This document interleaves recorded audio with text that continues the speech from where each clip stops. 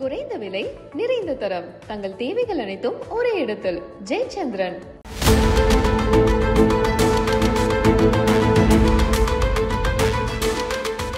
வணக்கம் நண்பர்களே. மின்னம்பலம் டிஜிட்டல் திண்ணைக்கு உங்களை வரவேற்கிறோம். நான் ராகவேந்திர ஆரா. இன்று ஜனவரி இருபத்தி ரெண்டாம் தேதி இந்தியாவின் அதாவது இந்திய அரசியலின் இந்திய ஆன்மீகத்தின் ஒரு முக்கியமான நாளாக கருதப்படுகிறது. அயோத்தியிலே ராமர் கோவில் இன்று கட்டி திறக்கப்பட்டிருக்கிறது. பிரதமர் மோடி அதற்குரிய பூஜை புனஸ்காரங்களை எல்லாம் செய்து இன்று அந்த பிராண பிரதிஷ்டை என்று சொல்லப்படக்கூடிய அந்த ஸ்- குழந்தை ராமருடைய சிலையை அங்கே நிறுவியிருக்கிறார். இதற்காக அதாவது அயோத்தியிலே இந்த ஸ்- சிலை திறப்பு இந்த கோயில் திறப்பு நிகழ்வுக்காக கடந்த இரண்டு மூன்று நாட்களாக பிரதமர் மோடி த தமிழ்நாட்டுக்கு வந்து ஸ்ரீரங்கம் ராமேஸ்வரம் தனுஷ்கோடி உள்ளிட்ட இடங்களுக்கு சென்று அங்கே வழிபட்டு அதாவது ராமர் வணங்கிய தெய்வங்கள் இங்கே தமிழ்நாட்டிலே. ஸ்ரீரங்கம் ரங்கநாத சுவாமி ராமேஸ்வரத்தில் இருக்க இருக்கக்கூடிய ராமநாத சுவாமி இவர்களெல்லாம் வணங்கிவிட்டு இங்கிருந்து புனித நீரை எடுத்து சென்று அங்கே அந்த நிகழ்ச்சியில் இன்று கலந்து கொண்டிருக்கிறார். இது பற்றி பெருமிதம் பொங்க இன்று ஒரு பெரிய உரையும் ஆற்றியிருக்கிறார் பிரதமர். இந்த நிலையில் தமிழ்நாட்டில் இது எப்படி எதிரொலித்திருக்கிறது என்றால் நேற்றிலிருந்து அதாவது அயோத்தியில் ராமர் கோவில் திறப்பு விழா நிகழ்ச்சியை தமிழகத்தில் உள்ள திருக்கோவில்களில் இந்து சமய அறநிலையத்துறைக்கு உட்பட்டதாக இருக்கட்டும் அல்லது தனியார் கோவில்களாக இருக்கட்டும் இங்கே இருக்கிற கோவில்களில் எல்இடி திரை வைத்து அந்த நிகழ்ச்சியை நேரடி ஒளிபரப்பு செய்வதற்கு ஒரு பக்கம் பிஜேபி முயற்சி எடுத்து வந்தது. அங்கங்கே இருக்கிற அறநிலைத்துறையினரும் சரி காவல்துறையினரும் சரி அவர்கள் மனு அளித்து வந்தனர். இன்னொரு பக்கம் அங்கே அதாவது அயோத்தியில் ராமர் கோயில் திறப்பு விழாவை முன்னிட்டு தமிழ்நாட்டிலே இருக்கிற ராமர் கோவில்கள் பெருமாள் கோவில்களிலே சிறப்பு அபிஷேகங்கள் திருமஞ்சனங்கள் சிறப்பு பூஜைகள் நடத்துவதற்கு இன்னொரு பக்கம் அவங்கவுங்க தனிப்பட்ட முறையில் அதாவது கட்சி சார்பற்ற இந்த ஆன்மீக அன்பர்கள் ஒரு பக்கம் ஏற்பாடு செஞ்சுக்கிட்டு இருந்தாங்க இதுதான் நிலைமை. இந்த நிலையில்தான் நேற்று அதாவது ஒரு பத்திரிகையில் இதுபோல் சிறப்பு பூஜைகள் நடத்துவதற்கு அறநிலையத்துறை அதிகாரிகள் தடை விதித்திருக்கிறார்கள் என்று ஒரு செய்தி வர அந்த செய்தியை எடுத்து மத்திய நிதியமைச்சர் நிர்மலா சீதாராமன் காட்டமாக ஒரு க கருத்தை வெளியிட தமிழ் தமிழ்நாட்டு மக்களின் தமிழ்நாட்டு இந்துக்களின் வழிபாட்டு உரிமையை திமுக அரசு மறுக்கிறது என்று சொல்ல அதற்கு உடனடியாக அறநிலையத்துறை அமைச்சர் சேகர் பாபு நாங்கள் அப்படி எந்த தடையும் விதிக்கவில்லை. சிறப்பு பூஜைகள் வேண்டுமானாலும் செய்து கொள்ளலாம் என்று அவர் விளக்கம் கொடுத்தார். இதுக்கிடையில் என்ன நடந்தது? இந்த இடத்துல ஞாபகம் வைத்துக் கொள்ள வேண்டும். கடந்த ரெண்டாயிரத்தி இருபத்தி ஒன்று நவம்பர் மாதம் பிரதமர் மோடி உத்தரகாண்ட் மாநிலத்தில் உள்ள கேதார்நாத்திலே சங்கராச்சாரியருடைய சிலையை திறந்து வைத்தார். அந்த நிகழ்ச்சியை தமிழ்நாடு அரசின் அறநிலையத்துறை தனது உட்ப தனது அதிகாரத்துக்கு உட்பட்ட கோவில்களில் எல்இடி திரை வைத்து கோயில்களுக்குள்ளேயே வைத்து அந்த நிகழ்ச்சியை ஒளிபரப்பியது. ஸ்ரீரங்கத்திலே அப்போது ஸ்ரீரங்கம் ரங்கநாதர் கோவிலிலே தமிழக பாஜக தலைவர் அண்ணாமலை அந்த நிகழ்ச்சியிலே கலந்து கொண்டார். முன்னாள் மத்திய அமைச்சர் பொன் ராதாகிருஷ்ணன் ராமேஸ்வரம் கோயிலிலே கலந்து கொண்டார். இப்படி ஒவ்வொரு முக்கிய த- தமிழக பாஜக தலைவர்களும் அங்கங்கே இருக்கிற இந்து சமய அறநிலைத்துறைக்கு உட்பட்ட கோவில்களிலே இந்த நிகழ்ச்சியிலே கலந்து கொண்டார்கள். அப்போது தமிழக அரசின் இந்த அறநிலையத்துறை தமிழ்நாடு அரசின் கீழ் நடக்கிறதா அல்லது ஆர்எஸ்எஸின் கீழ் நடக்கிறதா என்று சீமான் கேள்வி எழுப்பினார். திமுகவுக்கு உற்ற தோழமை கட்சியாக இருக்கக்கூடிய தாய் கழகமான திராவிடர் கழக தலைவர் வீரமணியை கூட அப்போது கேள்வி எழுப்பினார். என்ன இப்படிலாம் நடந்துக்கிட்டு இருக்கே அப்படின்ட்டு. இந்த நிலையில் இப்போது அதாவது இந்த அயோத்தி ராமர் கோவில் திறப்பு விழாவை இன்றைக்கு கோ- தமிழக கோவில்களில் இதே போல எல்இடி வைத்து அனுமதி அளிக்கக்கூடாது என்றும் என்று அறநிலைத்துறை அதிகாரிகள் த தடுத்ததாகவும் அதை எதிர்த்து பாஜக இதை வந்து அரசியலாக்கி திருப்பி திமுக அரசுடைய அமைச்சர் சேகர்பாபு இதுக்கு பதில் சொல்லி இதுதான் இன்றைக்கு மு- முழுக்க அந்த வட இந்தியா முழுவதும் பக்தர்கள் இந்த அந்த விழாவை கொண்டாடி கொண்டிருக்கிற நிலையே தமிழ்நாட்டில் மட்டும் இது அரசியல் ரீதியாக திமுக வெர்சஸ் பாஜக என்கிற உருவெடுத்து நிற்கிறது இதில் என்ன நடந்தது என்று நாம் தீர விசாரித்த போது சில முக்கியமான அதிர வைக்கும் தகவல்கள் கிடைக்கின்றன. அதாவது ஜனவரி பத்தொன்பதாம் தேதி வெள்ளிக்கிழமை சாயந்தரம் தமிழ்நாட்டில் இருக்கக்கூடிய பல்வேறு கோயில்களின் செயல் அலுவலர்கள் மூலமாக அந்தந்த கோவில்களில் இருக்கக்கூடிய அர்ச்சகர்களுக்கு பெருமாள் கோவில் பட்டாச்சாரியார்களுக்கு அலைபேசி வழியாக ஒரு தகவல் போகுது. சில கோயில்களில் செயல் அலுவலரே நேரடியாக பேசியிருக்காரு. சில கோயில்களில் செயல் அலுவலர் அலுவலகத்திலிருந்து அதாவது இஓ ஆஃபீஸ்லேருந்து கணக்கு பிள்ளை அப்படின்லாம் சொல்லுவாங்க. கிளர்க் இருக்காங்களே அவங்க ஃபோன் பண்ணியிருக்காங்க. என்னென்னா ஜனவரி இருபத்தி ரெண்டாம் தேதி அயோத்தியிலே ராமர் கோவில் சிலை திறக்கிறாங்க.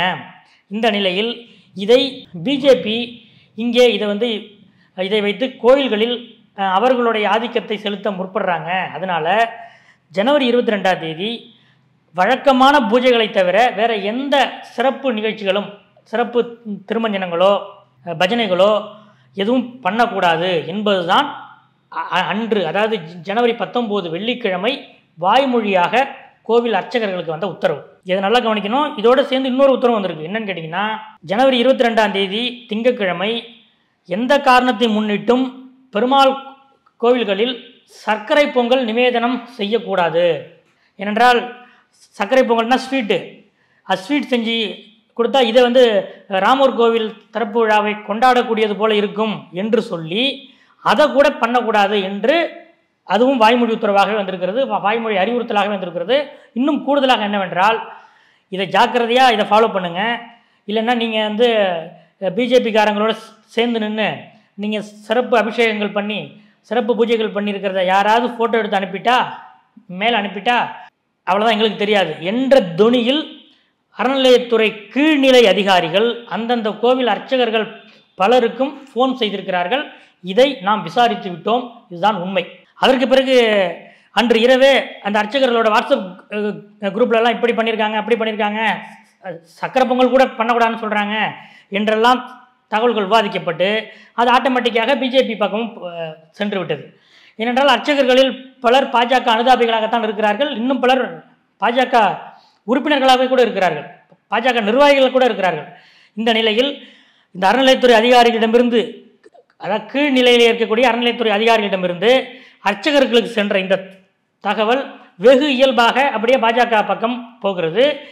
பாஜக இதை மிக சாதகமாக பயன்படுத்தி கொண்டிருக்கிறது. எப்படி என்றால் ஏற்கனவே பாரதிய ஜனதா கட்சி தரப்பிலே கோவில்களுக்கு அந்த கோவில் வளாகத்திலே எல்இடி திரை வைத்து இது போல இந்த அயோத்தி நிகழ்வை ஒளிபரப்புவதற்கான ஏற்பாடுகளை செய்திருக்கின்றார்கள்.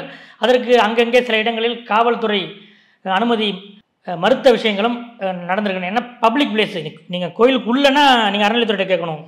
கோயில் அந்த சுற்றுச்சுவரை தாண்டி வெளியே வச்சீங்கன்னா அது பொது இடம். காவல்துறையிடம் தான் கே- கேட்கணும். இப்படி பல இடங்களில் காவல்துறை அனுமதி மறுக்கப்பட்டிருக்கிறது. இந்த நிலையில்தான் இந்த தகவல்கள் வெளிவந்து அது செய்தியாகவும் வெளிவந்து இதை பார்த்துவிட்டு அமைச்சர் சேகர் பாபு அதிர்ச்சி அடைந்து அதை மறுக்க அவருக்கு மீண்டும் மீண்டும் பாஜக தரப்பிலிருந்து நாங்கள் ஆட்சிக்கு வந்தால் அறநிலைத்துறையே இருக்காது. சேகர்பாபு இந்து விரோதையாக செயல்படுகிறார். திமுக அரசு இந்து விரோத அரசாக செயல்படுகிறது என்று நிர்மலா சீதாராமன் இன்று நேற்றும் இன்றும் இதில் மிகப்பெரிய அளவுக்கு ஸ்கோர் செய்து விட்டார் என்றுதான் சொல்ல வேண்டும். சரி அறநிலையத்துறையில் அப்படி என்ன நடக்கிறது? அமைச்சர் சேகர் பாபு நான் அதுபோல் எந்த உத்தரவும் வெளியிடவில்லை. வாய்மொழியாக எந்த உத்தரவும் யாருக்கும் தெரிவிக்கப்படவில்லை என்று அமைச்சர் சேகர் பாபு சொல்கிறார். அப்படி என்றால் நாம் விசாரித்தவரை நமக்கு மிகவும் நம்பகமான கோவில் அர்ச்சகர்களிடம் கேட்டபோது இல்லைங்க இந்த இந்த கிழமை இந்த நேரத்தில் ஃபோன் வந்தது இதெல்லாம் சொன்னாங்க. நாங்கள் அவங்கள்ட்ட திருப்பி கேட்டோம். என்னென்னா ஏங்க உபயம் பண்ணுறவங்க வெறும் பிஜேபிக்காரங்க மட்டும் இல்லைங்க காங்கிரஸ் கட்சிக்காரங்களும் இருக்காங்க அதிமுக கட்சிக்காரங்களும் இருக்காங்க திமுக காரங்க கூட உபயம் பண்ணுறாங்க அன்றைக்கி நம்ம எப்படிங்க வேணான்னு சொல்கிறது அப்படின்னும் போது திருப்பி அதிகாரிகள் வந்து கொஞ்சம் இது பண்ணி சரி அப்படின்னா கொஞ்சம் சீக்கிரமே முடிச்சிருங்க காலையில் சீக்கிரமாகவே முடிச்சிருங்க என்றும் சொன்னார்கள். இந்த தகவல்கள் அறநிலையத்துறையின் கீழ்நிலை அதிகாரியிடமிருந்து எங்களுக்கு வந்தது உண்மை என்று ஆலய அர்ச்சகர்கள் தரப்பிலும் ஆலய ஊழியர்கள் தரப்பிலும் சொல்கிறார்கள். அப்படி என்றால் அமைச்சருக்கு தெரியாமல் இந்த வாய்மொழி உத்தரவை சொல்ல சொன்னது யார்? இதுதான் இன்றைய கேள்வி. இந்து சமய அறநிலையத்துறை வந்து எப்போதுமே பிஜேபி வந்து இந்து சமய அறநிலையத்துறையை கலைக்க வேண்டும். அதை வந்து கோயில்களை த- தனியாரிடமே ஒப்படைக்க வேண்டும் என்று தொடர்ந்து சொல்லி வருகிறது. இன்னும் கூட கணிசமான கோவில்களிலே அறங்காவலர்கள் நியமிப்பதற்கு பாஜக ஆ- ஆங்காங்கே வந்து முட்டுக்கட்டை போட்டு வருகிறது என்பதுதான் உண்மை. அவர்கள் நீதிமன்றத்தில் வழக்கு ரீதியாக செ- சென்று போராடி கொண்டிருக்கிறார்கள். இந்த நிலையில் அப்போ அமைச்சர் சேகர் பாபு நான் இதுபோல் எந்த உத்தரவும் விடவில்லை. நாங்கள் ஆன்மீகத்தை ஆன்மீகமாக பார்க்கிறோம் ஆன்மீகத்தை அரசியலாக பார்க்கவில்லை என்று சொல்கிறார். அப்படி என்றால் உத்தரவிட்டது யார்? இது பற்றி தான் அறநிலையத்துறை ஊழியர்களிடம் நாம் விசாரித்த போது அவர்கள் ஒரு முக்கியமான தகவலை சொல்கிறார்கள். என்னென்னா ரெண்டாயிரத்தி பதினொன்னிலிருந்து ரெண்டாயிரத்தி இருபத்தி ஒன்று வரை அதிமுக ஆட்சி தான் நடந்தது. அந்த ஆட்சியில் அறநிலையத்துறை அதுவும் குறிப்பாக ரெண்டாயிரத்தி பதினேழுக்கு அப்புறம் ரெண்டாயிரத்தி பதினேழு எடப்பாடி ஆட்சிக்கு வந்த பிறகு ரெண்டாயிரத்தி பதினேழுலேருந்து ரெண்டாயிரத்தி இருபத்தொன்று வரைக்கும் ஒட்டுமொத்த அதிமுக அரசே மத்திய பாஜக அரசோட கட்டுப்பாட்டில் இருந்ததுங்கிறது எல்லாருக்குமே தெரிஞ்ச விஷயம்தான் அந்த நிலையில் அன்று நியமிக்கப்பட்ட பல்வேறு அதிகாரிகள். அவர்கள் இந்து சமய அறநிலையத்துறையின் உயர்நிலையில் இருப்பவர்களாக இருக்கட்டும் இடைநிலையில் இருப்பவர்களாக இருக்கட்டும் அடுத்தடுத்த கடைநிலை அதிகாரிகளாக இருக்கட்டும் இந்த மூன்று நிலையிலும் கூட அன்று கடந்த அதிமுக ஆட்சியிலே பாஜக செல்வாக்கோடு நியமிக்கப்பட்ட அதிகாரிகள் கிட்டத்தட்ட எழுபதிலிருந்து எண்பது சதவீதம் பேர் இன்று வரை மாற்றப்படவே இல்லை. அவர்கள் அந்த இடத்திலே அதே அதிகாரத்தோடு தான் இருக்கிறார்கள். இப்படி பாஜகவோடு ரொம்ப ஸ்ட்ராங்கான தொடர்பிலே இருக்கக்கூடிய அதிகாரிகள் அவர்கள் இன்னும் மாற்றப்படாமல் தொடர்ந்து அதே நிலையில் அதே அதிகாரத்தோடு அதே இடத்திலே இருக்கிறார்கள். இவர்களால் கூட இந்த தகவல்கள் கசியவிடப்பட்டிருக்கலாம் என்று அமைச்சர் சேகரபாபுவுக்கு நெருக்கமான அவருக்கு வேண்டிய அறநிலையத்துறை ஊழியர்கள் அவரிடம் தெரிவித்திருக்கிறார்கள். நாம் இது பற்றி விசாரிக்கும் போதும் அதுதான் உண்மை என்று தெரிகிறது. அதாவது என்னென்னா அவங்க சொன்னாங்களான்றதெல்லாம் நமக்கு அது அது அடுத்த விஷயம். ஆனால் கடந்த அதிமுக ஆட்சியிலே நியமிக்கப்பட்ட பல்வேறு அதிகாரிகள் இன்னமும் இந்து சமய அறநிலையத்துறையிலே அதே இடத்தில் தான் இருக்கிறார்கள். இதை வாகாக பயன்படுத்தி கொண்ட பாஜக அவர்கள் மூலமாக அந்த வாய்மொழி உத்தரவை அர்ச்சகர்களுக்கு பிறப்பிக்க வைத்து அர்ச்சகர்கள் மூலமாக அதை மீண்டும் பாஜக நிர்வாகிகளுக்கே வர வைத்து அவர்கள் ஏற்கனவே கோயிலுக்கு வெளியே எல்இடி திரை அமைப்பதற்காக ஒரு போராட்டம் நடத்தி கொண்டிருக்கிற நிலையிலே இதுவும் சேர்ந்து கொண்டதால் இதை அவர்கள் அப்படியே ரொம்ப அல்வா சாப்பிட்ற மாதிரி சக்கரை பொங்கல் சாப்பிட்ற மாதிரி பாஜக இதை வெகு எளிதாக அரசியலுக்கு பயன்படுத்தி கொண்டு விட்டது. இந்து சமய அறநிலையத்துறை இன்னமும் சீர்படுத்தப்பட வேண்டும். சீர்படுத்தப்பட வேண்டும் பாரதிய ஜனதா கட்சி சொல்லுது அதை அப்படியே கலைச்சிருங்கன்னு சொல்லுது. ஆனால் இப்போ இருக்கும் இந்து சமய அறநிலையத்துறையே ரெண்டாயிரத்தி பதினேழு டு இருபத்தொன்னில் எப்படி இருந்துச்சோ அப்படி தான் இன்னும் இருக்குது இதை வைத்துக்கொண்டு அமைச்சர் சேகர் பாபு என்ன சொன்னாலும் அது வந்து வெளியே நியாயமாக தெரியாது என்பது தான் உள்ளே இருக்கக்கூடியவர்களின் கருத்தாக இருக்கிறது. நாம் ஏற்கனவே மற்ற துறைகள் அதாவது இந்து சமய அறநிலையத்துறை அல்லாத பிற துறையினரிடம் நாம் வேறு வேறு செய்திகளுக்காக தகவல்களுக்காக பேசி கொண்டிருக்கும் போது அதாவது பழந்தின்று கொட்டை போட்ட அதிகாரிகள் பலர் உட்கார்ந்து கொண்டு துறை அமைச்சர்களுடைய உத்தரவுகளுக்கே இடைஞ்சலாக முட்டுக்கட்டை போட்டு இருந்து கொண்டிருக்கிறார்கள். இதெல்லாம் வெளியில் சொல்ல முடியாது எங்களால் என்று சில அமைச்சர்களே ரொம்ப நம்மளிடம் ரொம்ப வெளிப்படையாக தனிப்பட்ட முறையிலே கொட்டி தீர்த்திருக்கிறார்கள். அந்த வகையில்தான் இந்து சமய அறநிலைய துறைக்குள் இப்படிப்பட்ட நிலை இருக்கிற நிலையில்தான் இந்த விவகாரங்கள் நடந்திருக்கிறது. இதை சேகர் பாபு அமைச்சர் சேகர் பாபு இதற்கு முன்பு அதாவது இருபத்தி ரெண்டாம் தேதி என்ன நடக்க போகுது அப்படிங்கிறத கொஞ்சம் அனலைஸ் பண்ணி அவங்களுக்கு இப்படிலாம் எந்த உத்தரவும் பண்ணக்கூடாது. அதாவது ஒழுங்கான த முறையான தகவல் அமைச்சருக்கு சென்று சேர்ந்திருந்தால் அவர் இல்லை இல்லை இது மாதிரி பண்ணக்கூடாதுன்னு சொல்லி உத்தரவு அதை உத்தரவு கொடுத்துருக்க ஒரு வாய்ப்பு இருக்குது ஆனால் அவருக்கு தெரியாமலேயே இவ்வளவும் நடந்திருக்கிறதா என்ற ஒரு கேள்வியும் இந்து சமய அறநிலைய துறைக்குள்ளேயே எழுகிறது. இது வந்து இப்போது இந்த விவகாரத்தில் இது இந்து சமய அறநிலைய துறை என்ற துறையின் கீழே இது வந்து விமர்சனத்துக்கு உள்ளாயிருக்கிறது. ஒவ்வொரு து- துறையிலும் இப்படித்தான் இருக்கிறது என்றும் திமுக வட்டாரத்திலேயே அழுத்துக் கொள்கிறார்கள் என்பதுதான் உண்மை. இது ஒரு விஷயம். இன்னொரு விஷயம் இன்று அனைத்து இந்திய அண்ணா திராவிட முன்னேற்றக் கழகம் தனது சார்பிலே அதாவது தங்களுடைய கட்சி சார்பிலே தேர்தல் குழுக்களை அமைத்திருக்கிறது. அதாவது கூட்டணி கட்சிகளுடன் தொகுதி பங்கீடு குறித்து பேசுவதற்கான ஒரு குழு பிரச்சார குழு தேர்தல் விளம்பர குழு என்பன உள்ளிட்ட குழுக்களை இன்று எடப்பாடி பழனிசாமி அதிமுகவுடைய பொதுச் செயலாளர் எடப்பாடி பழனிசாமி அறிவித்திருக்கிறார். இந்த குழுவை பார்த்தோன்னா அதிமுககாரங்க இயல்பாக என்ன கேட்குறாங்கன்னா ஆனால் எந்த கட்சியோட பேசுகிறதுக்கு இப்போ கூட்டணி குழு போட்டிருக்கோம் நம்ம? அப்படின்ற ஒரு கேள்வி இயல்பாகவே வந்திருக்கு. ஏன்னா சோ கால்டு என்டிஏலேருந்து அவங்க விலகிட்டாங்க. அதுக்கப்புறம் என்டிஏல ஏற்கனவே இருந்ததாக சொல்லப்படுகிற தமிழ் மாநில காங்கிரஸாக இருக்கட்டும் ஜான் பாண்டியன் தலைமையிலான கட்சியாக இருக்கட்டும் புதிய தமிழகமாக இருக்கட்டும் ஏற்கனவே இருந்து பிறகு அங்கிருந்து வெளியேறிய பாட்டாளி மக்கள் கட்சியாக இருக்கட்டும் தேமுதிகவாக இருக்கட்டும் இவர்கள் யாருமே அதிமுகவோடு நெருக்கம் காட்டாத நிலையில் பாரதிய ஜனதா கட்சியோடு ஒரு வகையில் நெருக்கம் காட்டிக் கொண்டிருக்கிறார்கள் என்பதுதான் உண்மை.